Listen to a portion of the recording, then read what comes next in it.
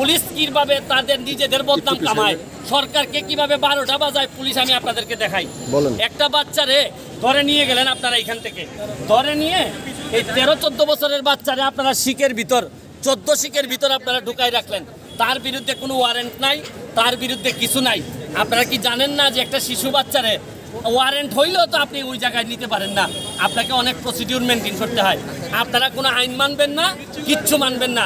মজার বিষয় হচ্ছে এই পুলিশের সন্তানরাই এই জায়গায় থাকবে। এই মাঠে এখানে খেলবে। কিন্তু পুলিশ তো এই এরকম মুখোমুখি হওয়ার কথা না। আমি আপনাদেরকে দেখাই, আপনারা দেখছেন, এই এই মহিলাদের, এই এই মানুষগুলার মুখ দেখে বুঝেন। দেখেন, মাঠ দখল করে করে এমন অবস্থা করছেন। ফুটবলে আমরা সবচেয়ে তলানির দিকে চলে গেছি একশো অষ্টআশিতে। আমার কথা হচ্ছে যে মাননীয় প্রধানমন্ত্রীর কাছে আমার অনুরোধ, স্বরাষ্ট্রমন্ত্রীর কথাও এরা এখন শুনে না। আমি জানি না যে এরা শুনে না, নাকি উনি চান না যে এরা ওনার কথা শুনো শুনেন, সব কিছুর একটা পাপের একটা সীমা আছে।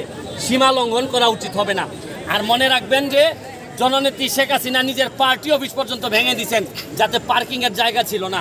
আর আপনারা এই তার নাম ব্যবহার করে মানুষের জায়গা দখল করতেছেন শুনেন, সব দূর সরকারের যাচ্ছে সরকারকে বারোটা বাজানোর জন্য আপনারা দুই চারজন পুলিশ অফিসারই যথেষ্ট Thank you.